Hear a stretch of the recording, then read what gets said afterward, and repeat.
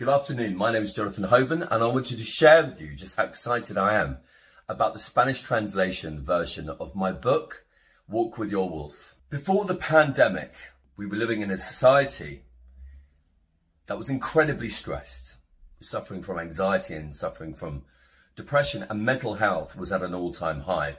I recognised this in my practice and I decided to write a book that incorporated therapeutic exercises for myself whilst walking outside in nature and highlighting just how important nature is for all of us.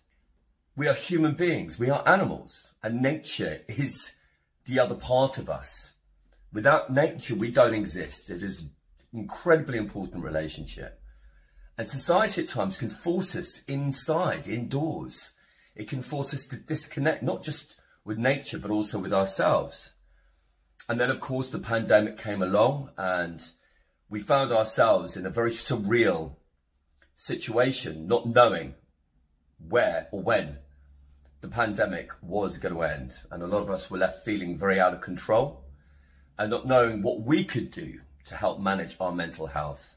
A lot of us may have felt scared, very anxious. But my clients who read my book during lockdown and went for a walk suddenly found that there were things that they could do, that they were in control of. There were ways to manage their mental health. There were ways that, in a society that may at times feel destabilizing, that actually something about nature reminds us that we are still evolving. Life will go on. There will be another summer. There will be another winter. There will be another spring.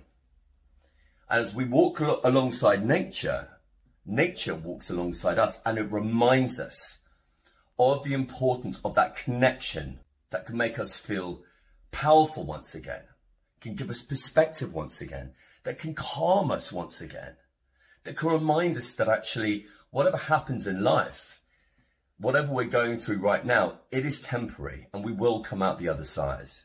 We all know walking helps our mental health, but you're never going to really know just how beneficial it is to you until you start walking. Nature has come back into our lives during the pandemic. We may go back out into our gardens. We may sort of have those memories of when we were a child again. I know that I did. I remember when I was very young seeing a daffodil. And I remember it was that simple. And I remember when I saw a daffodil, that was spring. And it reminded me that we'd moved into a new season. Therefore, it reminded me that life continues to move forward. And in that moment, my world opened up again. Because when you feel anxious and depressed and stressed, our worlds, our inner world become very small. So sometimes what we actually need to do is we need to get up and get moving. We can do it every day. We can do as much as we like. It's so accessible. And it's so powerful when we feel the effects of what one hour's walk can do. So anyway, I really hope you enjoy reading the Spanish translation of my book. And I'd love to know how you get on, what you learned from it.